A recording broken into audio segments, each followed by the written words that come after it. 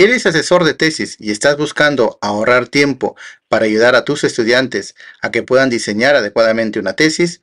Entonces, este video es para ti. La inteligencia artificial ha sido creada con el objetivo de ayudarte durante todo este proceso. Como sabes, elaborar una tesis es todo un camino que conlleva etapas y actividades. La inteligencia artificial no pretende reemplazar ese proceso, ni tampoco pretende reemplazar tu función o tu labor o la de tu tesista, sino por el contrario, guiarlo en cada una de esas etapas. Cuando tú elaboras una tesis, ¿qué es lo que haces? Identificas un problema, ¿verdad? Se diseña la tesis eh, planteando una matriz de consistencia, una matriz de operacionalización y luego se completa el formato, el protocolo del proyecto de tesis. Después viene ya la elaboración o la ejecución de la investigación y luego la generación del informe a partir de los resultados para que después se haga la visibilidad o a través de la sustentación o la difusión a través de repositorios o eventos académicos o tal vez otro tipo de escritos. Todo ese es el proceso que conlleva elaborar una tesis y la inteligencia artificial te puede dar en cada una de esas etapas donde tú tienes el control, donde tú necesitas revisar, supervisar y verificar para que sí realmente tengas un trabajo serio en donde no estás reemplazando actividades, sino por el contrario estás apoyándote para el proceso de optimizar tu tiempo. Déjame te muestro en pantalla para que veas cómo funciona Tesis Plan y cómo te puede ayudar a que puedas diseñar una tesis para tus estudiantes. Dale clic abajo para que puedas ingresar directamente a la herramienta y mire el tutorial paso a paso para que puedas utilizarlo sin ninguna dificultad. Bien, ahora te quiero explicar cómo Tesis Plan te va a ayudar a ahorrar tiempo en este proceso. Para poder elaborar una tesis, tú necesitas planificar, diseñar. Y la etapa del diseño implica que tengas, por ejemplo, una idea, un problema identificado, y esta idea se va a convertir en una matriz de consistencia. Esa matriz de consistencia se tiene que validar, se tiene que hacer búsqueda de información y hacer otras validaciones correspondientes para que si esta matriz tenga un buen resultado. Y luego que ya tienes esto, ahora sí podrías generar la matriz de operacionalización de variables, que del mismo modo se va a tener que hacer búsqueda de información para corroborar y hacer la validez correspondiente. Una vez que tienes todo esto, ahora sí ya podrías empezar a completar el formato o plantilla de proyecto de tesis. ¿Por qué? Porque ya tienes todos los elementos alineados, todos los, alcances de cómo se va a realizar la investigación, cuál es el nivel, el impacto, etcétera, etcétera. Así que el primer paso que vas a hacer es lo siguiente. Vas a ingresar a ChatGPT. Y aquí vas a irte a la opción que dice explorar GPT. Y luego aquí vas a escribir la palabra ITET. Y vas a elegir esta opción que dice tesis plan. ¿Ok? Seleccionas tesis plan. Y luego le dices empezar el chat. Después vas a hacer que se fije en el lado izquierdo y le das clic en mantener en la barra lateral. Vamos a empezar entonces a crear una matriz de consistencia. Recuerda que una matriz de consistencia es un recurso que se utiliza en investigación. ¿Para qué? Para que puedas tú tener en claro cuál es el alcance de tu investigación. ¿Sí? Y para esto necesitamos que respondas a estas preguntas. La gran ventaja que tiene Tesis Plan es que solo tienes que responder a las preguntas. Frente a los resultados vas a contradecir, revisar, refutar, hasta que sí tengas el resultado. Por ejemplo, aquí nos, nos pregunta, ¿qué tipo de tesis vas a elaborar? Yo escribo 1 punto, espacio, una tesis de pregrado. Listo. Presiono las teclas Shift Enter, que está al costado de la, de la Z, Shift Enter, para que en la misma casilla yo pueda colocar la siguiente pregunta. ¿Cuál es tu tema de investigación? Tu tema general de investigación. Voy a colocar acá TikTok en la enseñanza. Se me ocurre esta idea, es una problemática que he identificado. Nos vamos a tercera pregunta. ¿Cuál es el enfoque metodológico? ¿Cuantitativo, cualitativo o mixto? Voy a trabajar de manera cuantitativa. Y el cuarto es cuál es el alcance o el diseño metodológico. Voy a trabajar a nivel descriptivo propositivo. Tú puedes elegir el diseño que fuera, ¿sí? Recuerda todo esto dentro de la misma casilla del chat. Les digo enviar y la herramienta Tesis Plan lo que hace es, me va a dar primero tres ideas para delimitar tu tema de investigación. ¿Qué significa esto? Mi tema es muy general. TikTok en la enseñanza. Es una problemática identificada, pero yo no le he especificado en qué ámbito, Tampoco le he especificado con qué otra variable tiene que combinarla.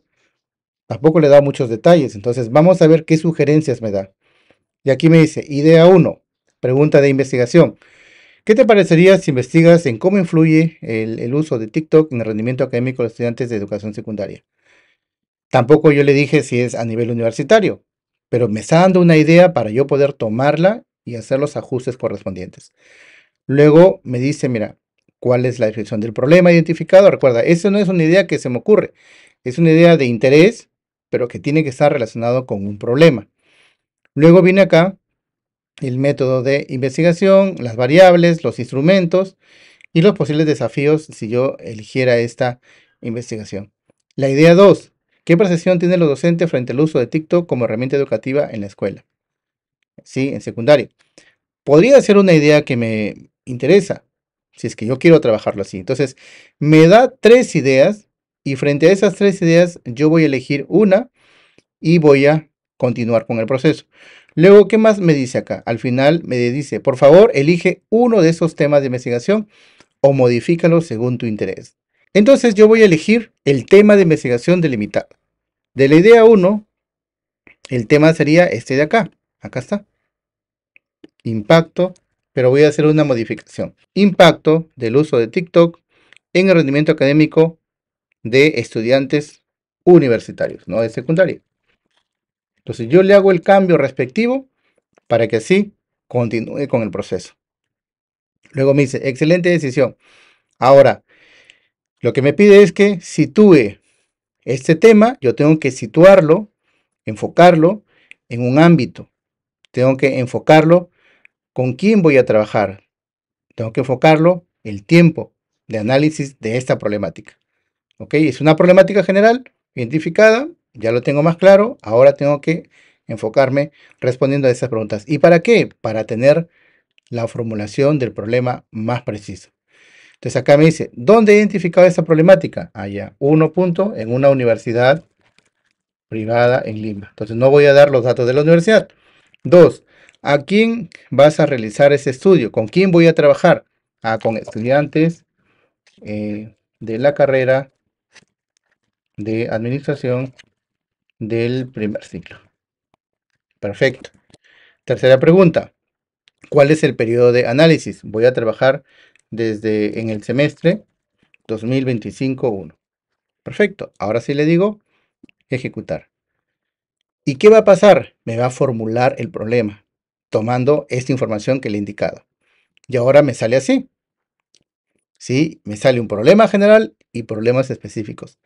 Si yo quisiera hacer modificaciones, se lo puedo pedir, pero vamos con la siguiente etapa. Nos dice, con esos problemas formulados, avancemos con la identificación de variables. O sea, te va guiando paso a paso, respondiendo a preguntas y revisando y haciendo las mejoras para la creación de los objetivos de investigación.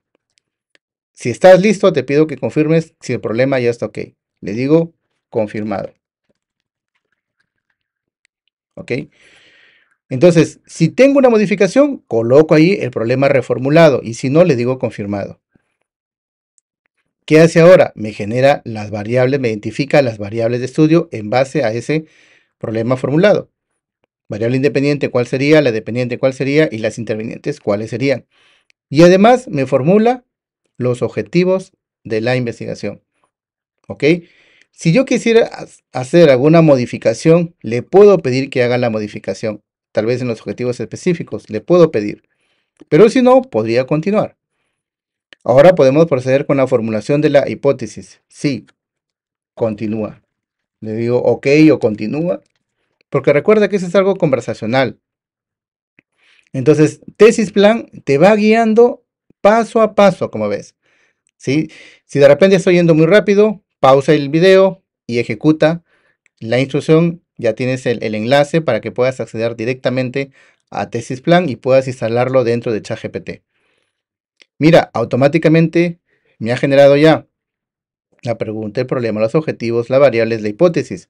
Excelente, general y específicas. Ahora sí, le voy a pedir que me genere la matriz de consistencia. ¿Te gustaría generar, este, sugieres algunos títulos? Sí. Ok, quiero títulos o propuestas de títulos para elegir.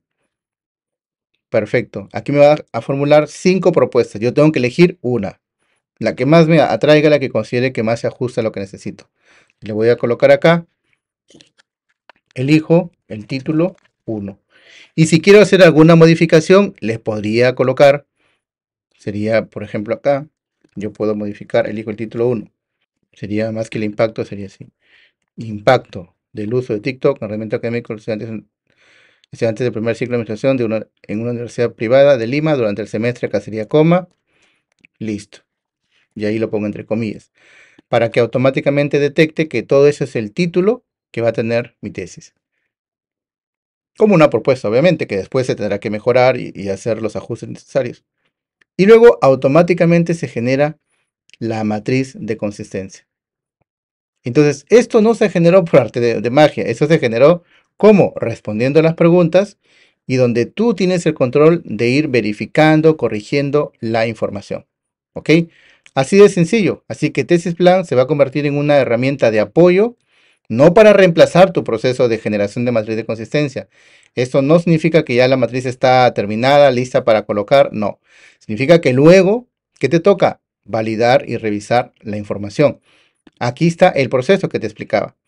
Ya generaste tu matriz, ahora ¿qué te toca? Validar. ¿Cómo? Haciendo búsqueda de información, verificando si el objetivo está bien formulado, verificando los objetivos específicos, la hipótesis, todos los elementos que consideres necesario para que así continúes con la siguiente etapa de elaborar la matriz de operacionalización de variables.